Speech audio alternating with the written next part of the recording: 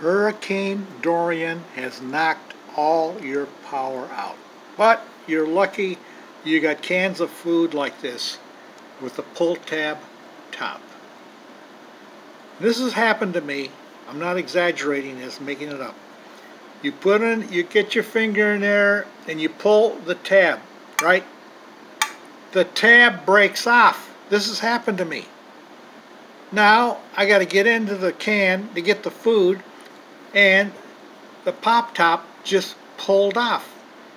Well, maybe you can open it up with a can opener. I've never tried it. But if you got an electric can opener, you don't have any power, you're not going to be able to do it.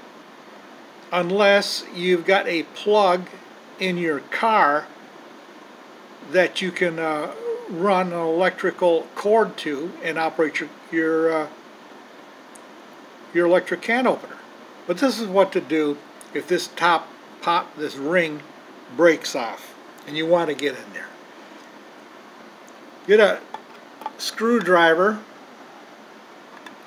and you got a little opening where the can pulled off. Or let's say you don't we'll get a hammer and hammer that opening right here on the edge because this is a pop, still a pop top can.